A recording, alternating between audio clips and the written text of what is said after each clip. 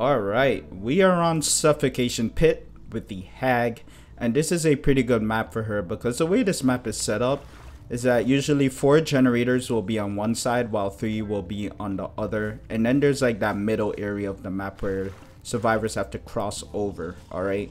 So what I'm gonna do, since we spawn on the side of the three gens, I'm gonna set up my web here because we know most likely that survivors are on the opposite side from us. So I'm gonna set up my web on this side of the map. And what you want to do is always trap strong areas where you know survivors are gonna go to, like this TL wall for example. Right here is a crossroads where survivors have to cross over to my side, so I'm gonna trap there. And we do got a generator here as well as a hook on this hill. So I'm going to put a trap here. So later on, if I do hook a survivor on that hill, any survivor that tries to come by and rescue them will get hit. So we have two traps left. I usually don't like starting chase until I have at least two left. So since we have a little time here, let's set up more traps at loops where we know survivors are going to go to. Alright, so I see the Yui there. She's probably going on a gen. Let's set this trap here. And we are ready to go. There's a Yui. She gonna loop here. No, she didn't. We got a smack on her. She's probably gonna run into trap, so I'm gonna wait it out. Perfect. So, wow. This hook is very, very powerful because where it is located is at the back of the map and survivors are now going to be forced to come through my web of traps. So right now we are in a good position. The Cheryl trigger my trap. She's running to her side. That's fine. Let's reset this. Alright, Elodie. She gonna run in that trap. Nope. Let's reset this.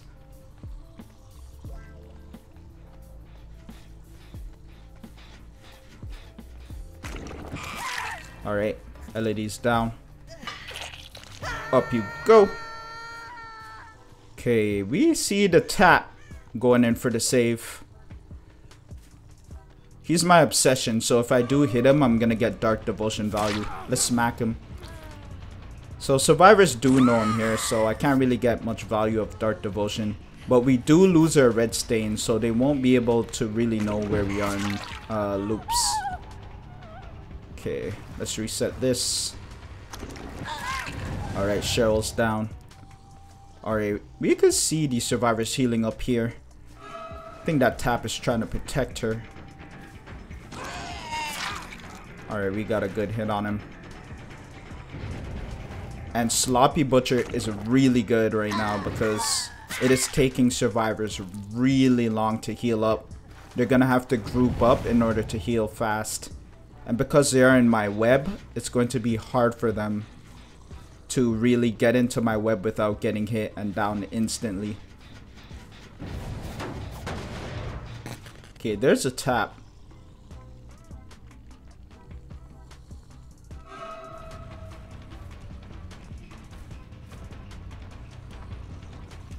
We have a trap here. Perfect.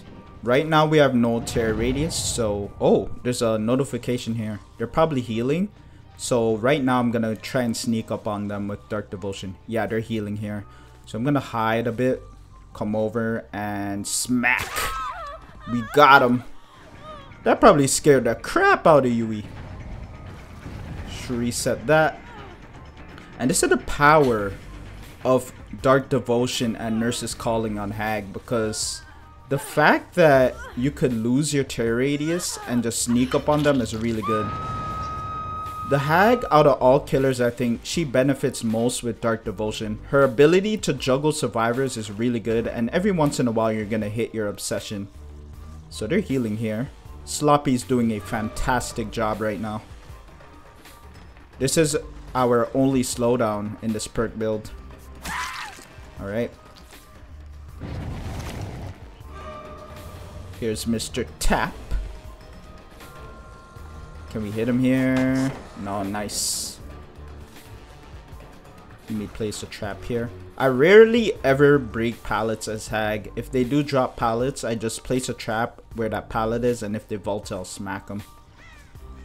Unless it's a god pallet, I really just leave it alone. They're healing here.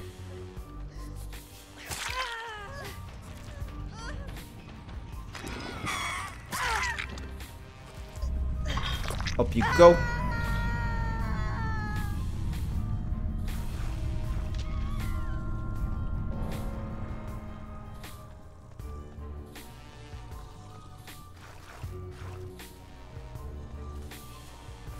scratch marks. Here, running in here. He has Iron Will. Nice, he flashlighted my trap. Smart. So they're killing themselves on hook. They're giving up. And this is what happens when you play your cards right with Hag.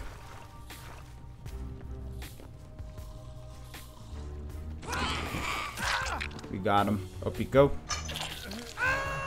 So if he is on comms with his friends, because he didn't see me place a trap there on the hill that I placed earlier, if that uh, Cheryl goes in for the save, she's most likely gonna get hit. But here's a Cheryl. We have a trap somewhere around here. Let's place a trap here and force her to move. Oh, that Tapp had deliverance, I think? Or did he? Yeah, he Kobe'd. Wow. Yeah, she's dead, so he's probably gonna find Hatch. Yep, he found Hatch. So this is the power of this build, and I really like it. Sloppy Butcher being able to slow down the healing of survivors. When survivors heal up, you'll have nurses calling, so you'll know exactly where they are. And if you hit your obsession with Dark Devotion, you will be able to sneak upon those survivors when you see them with nurses calling. So this build does synergize quite well. I hope you guys found this video informative. I will see you guys in the next one.